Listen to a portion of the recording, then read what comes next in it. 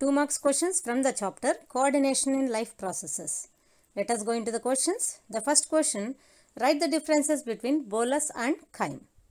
Let us draw a table with bolus and chyme on either side of the table. Bolus is the food which is crushed and mixed with the saliva in mouth. Whereas the chyme is the food which is mixed with gastric juice and ground in stomach. In the bolus, only the carbohydrates digestion takes place partially. Whereas in chyme, the protein digestion also takes place. So the bolus is the food which is properly chewed in the mouth, whereas the chyme is the food which is which has been properly ground in the stomach. Let us see the next one. What is the relation of taste and smell? The food that smells good stimulates hunger pangs and feel like to eat. If the food is smelling good, we feel like to eat it. If the food smells foul, we avoid or do not get proper taste. If the food is spoiled, then we do not feel like to eat it.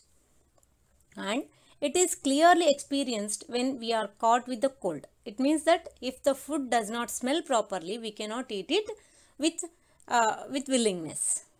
So it is clearly experienced when we are caught with the cold because during the cold we cannot smell the food and cannot identify the taste of the food. This is the relationship between taste and smell. Next question. What happens if salivary ducts are closed? This question has been discussed earlier in nutrition lesson itself but let us see it once again. If the sali salivary, salivary gland secretes saliva that helps for the slippery movement of the food in esophagus as well as it also helps for the carbohydrates digestion partially due to the presence of enzyme amylase.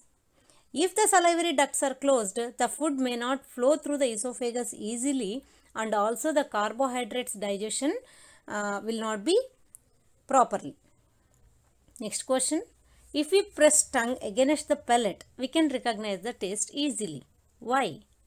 Because by pressing the tongue against the palate, the food enters the taste buds immediately so that it stimulates the receptor cells and identify the taste very easily and fast. Next question. What kind of controls such as neural or hormonal or both are exercised during sensation of hunger? I mean what kind of coordination has been uh, exercised during the uh, hunger pangs or uh, suppression of hunger? Both hormonal and neural controls are exercised during sensation of hunger because the hunger pangs are generated due to the release of ghrelin hormone whereas suppressed by leptin hormone. At the same time, the signals related to the hunger are transferred through the vagus nerve and diencephalon which are parts of the brain. Now, vagus is a cranial nerve, one of the cranial nerves and diencephalon is the is a part of forebrain. So these two majorly involve in transferring the signals related to the hunger pangs. Hence both hormonal and neural coordination has been exercised during the sensation of hunger.